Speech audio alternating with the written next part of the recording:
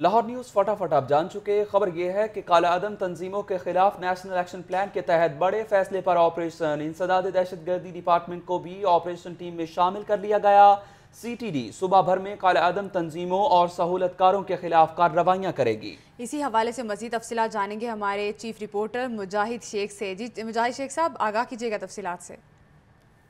National action plan پر عمل درامت کرنے کے لیے جو انٹیلیجنس بیس آپریشن ہے، اس سلسلے میں سی ٹی ڈی کو، جو ہے، وہ بھی تفصیلات فراہم کی گئی ہیں اور پنجاب بھر میں سی ٹی ڈی نے، جو اہم شہر ہیں، میاں والی، شیخ پورہ ڈی جی خان اور دیگر پنجاب کے شہر ہیں، وہاں پر کالدم تنظیموں کے خلاف بڑے آپریشن کیے تھے۔ تو اسی سلسلے میں، ثانیہ سائیوال کے بعد جو ہے، وہ سی ٹی ڈی کو اس میں شامل کیا گیا ہے اور additional I G C T D Rai Tahir کو دوبارہ جب عہدے کا چارج دیا گیا تو ان کی اہم ملاقاتیں بھی ہوئی ہیں اور اس سلسلے میں تبادلہ خیال جو ہے وہ بھی کیا گیا اور تفصیلات جو ہیں اس کا ایکسچینج بھی ہوا ہے اور اب سی ٹی ڈی جو ہے وہ کالدم تنظیموں کے خلاف جو آپریشن ہے اور ان کے جو صورت کار ہیں، ان کے حوالے سے جو ہے بڑے آپریشن میں حصہ لے گی جی۔